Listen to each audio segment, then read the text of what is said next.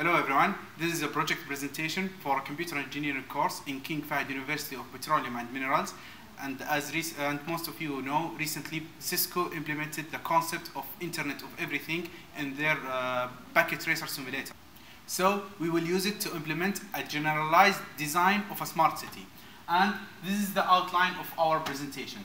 Uh, first of all, we will go through the design prototype, and after that, we will go to the home area, which has three uh, main subsystems, the environment control subsystem, the safety subsystem, and the security subsystem. After that, we will go to the data center, and uh, we will go to the industry, which has three subsystems, the employee signing in slash out subsystem, the front office subsystem, and the industry controlling subsystem. So this is the design prototype.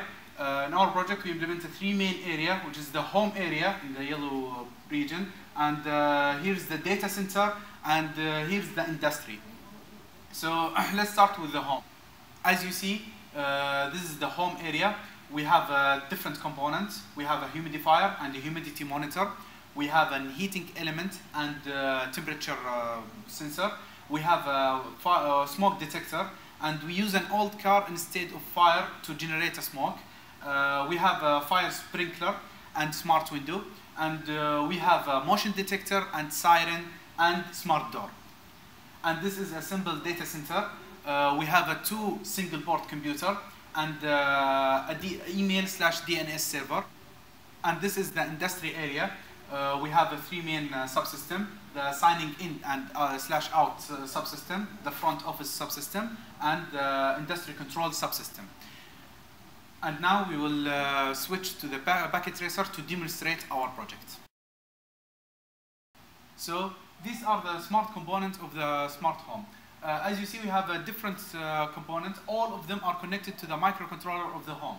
And as you see, we have the three main subsystem, which is the environment control subsystem, and the safety subsystem, and the security subsystem. And let's start with the environment control subsystem. As you see, we have a humidifier and a humidity monitor. And we set the condition uh, that if the humidity reach to 75%, it will turn on the humidifier and uh, start increasing the level until it reaches 90. When it reaches 90, the humidifier will turn off. And uh, here we have the, the temperature uh, sensor and the heating element. And uh, we set the condition that when the temperature goes under uh, 15, it will turn on the heating element until, and it will start uh, increasing the temperature until it reaches 30 and the heating element will be turned off. And now here's the safety subsystem. We have uh, three components. All of them are integrated to form the safety system. Uh, we have a smoke detector, fire sprinkler, and smart window. And here we put an old car to generate a smoke instead of fire because we don't have a fire element in Packet Tracer. So uh, we set the condition that if uh, the smoke level reaches 10, the fire sprinkler will turn on and the window will be open automatically to uh, ventilate the place. Uh, and that's all about the safety uh, uh, subsystem. And now let's leave the security system to the end. And we'll talk about how to control your smart home.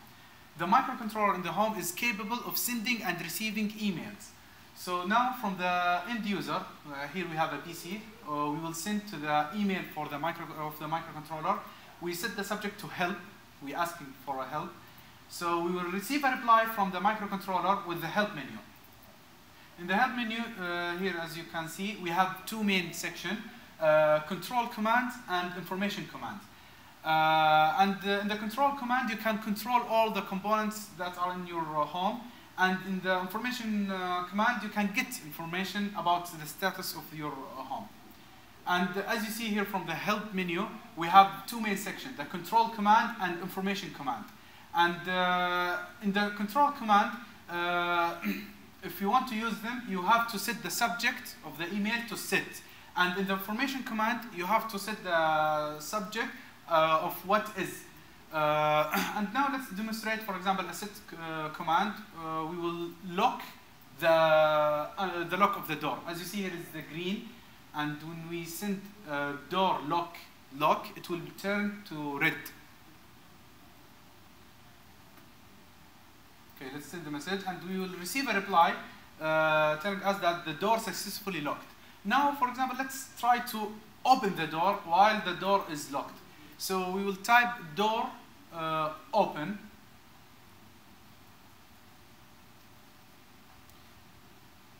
Okay, so we will receive an email telling us that, sorry, the door is locked.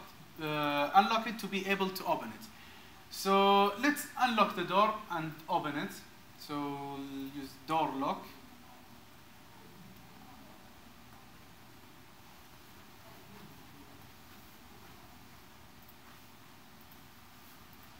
So as you see, we unlock the door, and now let's open the door. Door open.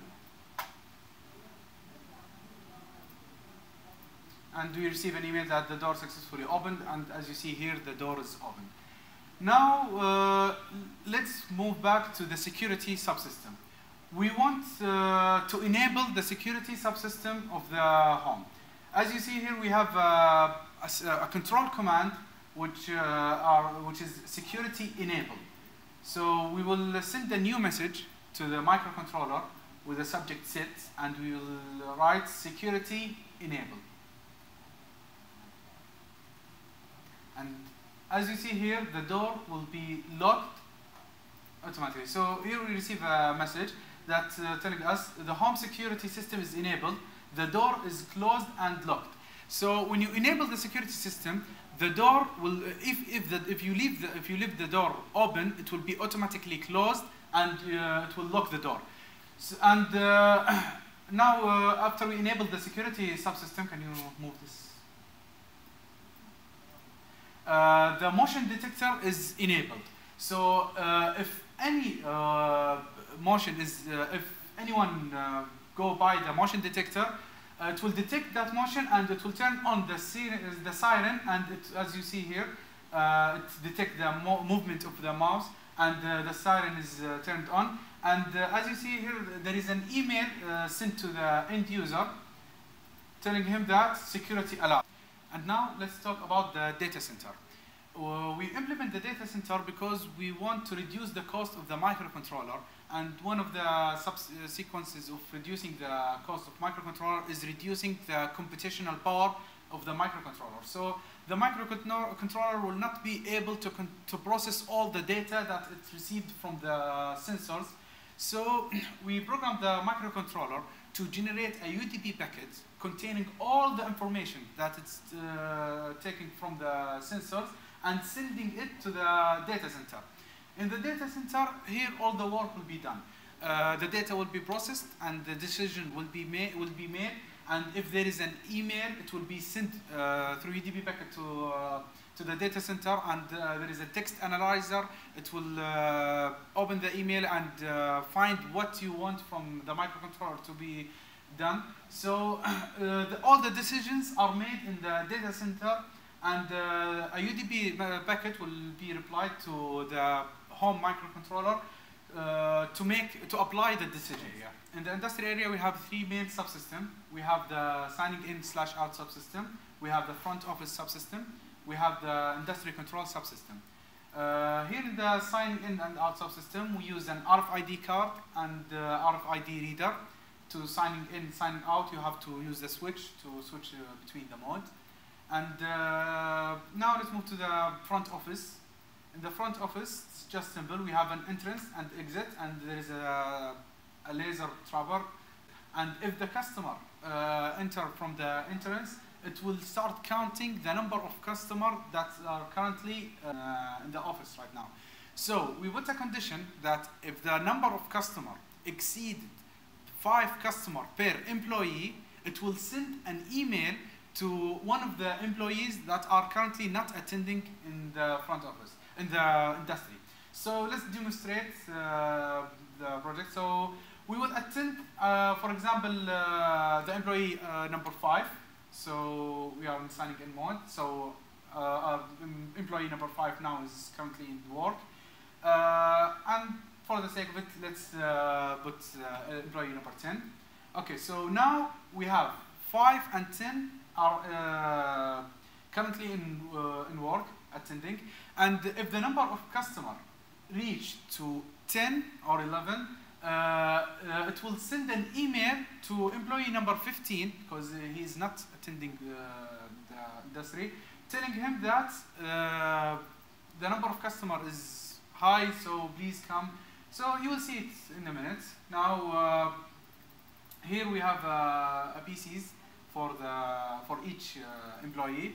So five and ten are attending. So let's move uh, to uh, employee number 15. Let's check his email. So he received an email from uh, the work telling him that uh, there are more customer than uh, than there are more customer than what the current employees can handle. Please come at come to work as soon as possible to serve them better. So here's the that's all about the signing in and signing out uh, subsystem. Uh, let's move to the control uh, industry control subsystem. Here we have a potentiometer to control the motor. As you see, when you move the potentiometer, the motor starts rotating.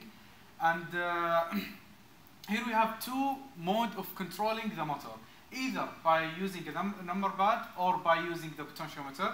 And you have a switch to uh, to switch between the only manual mode, which is using potentiometer, or the manual plus the numpad. So now let's turn on the, the switch. And for example, uh, uh, and we have a range, a speed range from 0 to 6,000.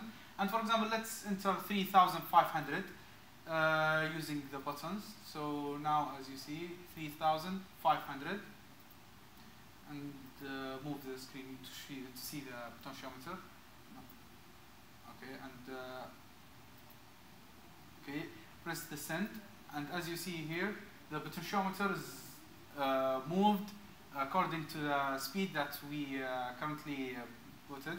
So as you see here is before the 4,000 uh, little bit, so it's 3,500. In conclusion, this was our project. Uh, so we faced many difficulties, some of them related to Packet Tracer itself, because uh, we need to reprogram some components so uh, to meet our requirements in our design. Uh, and also we suffered uh, from lack of documentations and there are no tutorials on the internet because this topic is worldwide trend these days. And we faced some other problems related to the implementation of IoT in Packet Tracer. Uh, there was some bugs. Uh, that's all about the difficulties we faced. And now for the outcomes, uh, of course we we end up with learning two new languages, two two uh, programming languages, uh, Python, JavaScript. Uh, and at the end, we realized the whole idea for the IoT and how it's gonna be implemented in future. Thank you for watching.